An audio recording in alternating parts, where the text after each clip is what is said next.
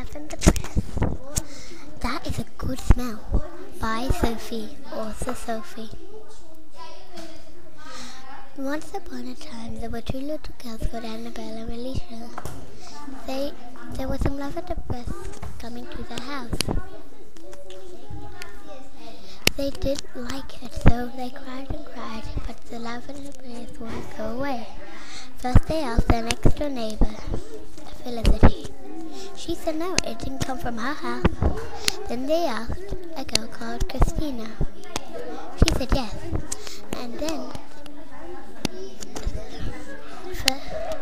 Annabelle asked if she could take it away.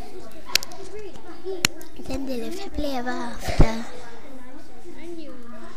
Hello, this is so happy. I like the smell.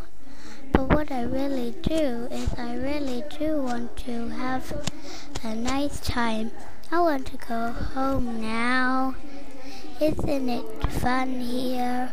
But I really want to go home.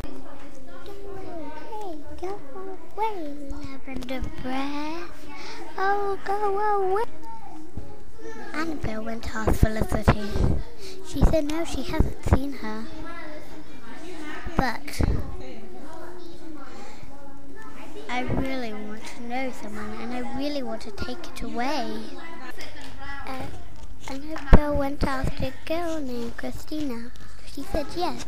She asked if she could take it away. And she said yes again and again.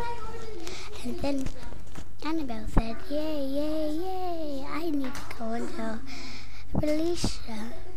Go. Next, they went back to their home with no love lavender press, and then they said bye-bye to everyone who was listening to the story.